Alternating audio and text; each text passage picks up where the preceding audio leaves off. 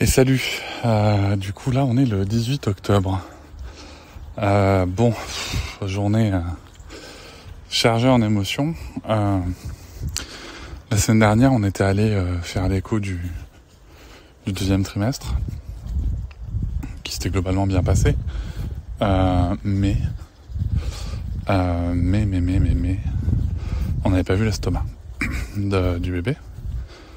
Voilà, donc ça pouvait euh, indiquer différentes choses.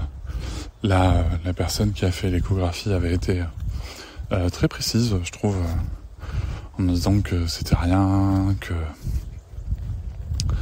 que c'est ça arrivait, et puis que si jamais il y avait un problème avec l'estomac, il y aurait d'autres choses qui apparaîtraient, notamment dans la présence du liquide, je sais plus quel endroit. Enfin voilà, j'ai pas.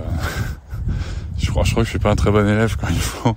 Je suis pas un très bon élève tout court. donc quand il faut écouter comme ça, je voilà par moment, tu vois, je suis pas en interview, donc je, je, laisse passer des infos. Enfin, c'est surtout que mon cerveau filtre en fait euh, des détails. Euh, et, euh, et si tu veux, euh, elle nous a dit, bah du coup, dans deux semaines, vous revenez dans deux semaines, on refera une écho et on verra l'estomac.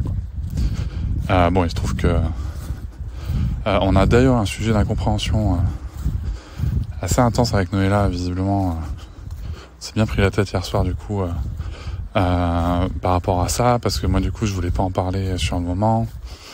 Euh, et puis, du coup, ça, ça a été compris comme pas en parler tout court. Euh, alors que finalement, après, je voulais en parler. Enfin, bref. Peut-être qu'on on reparlera de ça au micro.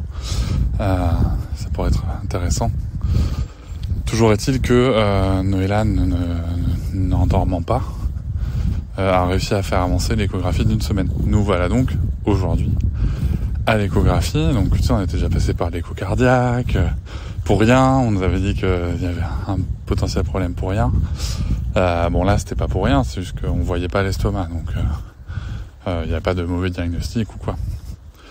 Toujours est-il que du coup, on a fait l'écho et que tout va bien. Voilà, tout va bien. Grosse décharge en sortant. euh, voilà, mais c'est une grossesse physio en fait. Voilà, tout, tout va bien en fait. Tout va vraiment bien et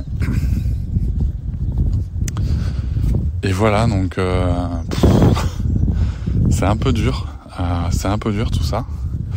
Je pense que je sais pas, je sais pas comment les autres personnes, enfin, je, je sais comment les gens que j'ai interviewés ont vécu ces moments-là, mais tu vois, enfin, comme, on n'arrête pas de nous parler de facteurs de risque à nos âges et tout machin, euh, voilà, c'est euh, c'est euh, c'est pas évident. Et puis tu sais, on est toujours dans ce contexte aussi où autour de nous, il y a eu euh, ces deux dernières années des voilà des dixièmes G, des des ou des interruptions naturelles de grossesse, IMG c'est pour interruption médicale de grossesse. Donc euh, pas évident. Pas évident. Et du coup chaque euh, chaque doute comme ça, tu sais, ça, ça, ça devient un stress immense quoi. Et, euh, et encore une fois, tu vois, comme pour comme pour le cas en fait. Tu sais très bien que rationnellement, il n'y a aucun euh, souci à se faire. C'est juste que t'es pas rationnel quoi. T'es juste pas rationnel. C'est euh, en tout cas moi et ma compagne pareil, tu vois. Juste en fait t'es plus rationnel quoi. Il y, y a trop de, tu veux pas vivre ça quoi. Et puis, euh, puis c'est vrai que tu vois, on en parlait un peu avec euh, avec Noëlla, c'est que Sarah, tu vois, en plus elle est vachement impliquée euh, maintenant dans la. Maya. Oui, je promène la chienne. Sarah, tu vois, elle est vachement impliquée maintenant en plus dans la grossesse, tu vois. euh, elle est à fond. J'ai un petit frère. euh, le statut de grande sœur, elle a accepté. euh, voilà quoi, tu vois, il y a, y, a, il y a vraiment tout ça qui est, qui est, euh, qui est cool. Et c'est vrai que euh, moi, il y a un truc auquel j'avais pas pensé, tu vois. C'est vrai que la déception serait pour elle aussi, tu vois. Donc, euh, ouais, c'est euh, et c'est là où tu te dis vraiment ce- ces sujets de deuil prénataux, même périnataux, hein, j'ai envie de dire. C'est vraiment, c'est vraiment des sujets hyper touchy, quoi, hyper sensibles et qu'il faut visibiliser au maximum, justement, je pense pour pour euh, pour traiter de ces sujets. Donc, je pense ça, bien sûr.